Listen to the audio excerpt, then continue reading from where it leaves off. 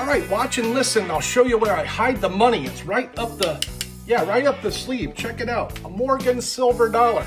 That's an illusion of quality. Yeah, just an illusion. A little magic sends it right back where it started.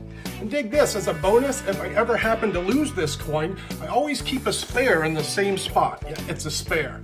If I lose that one, well, that's an issue because I have to consider the Asian coin. If I do that, I have to change the others to match the set. If there's any questions, just drop a line in the comments and don't forget to like and share. Thanks.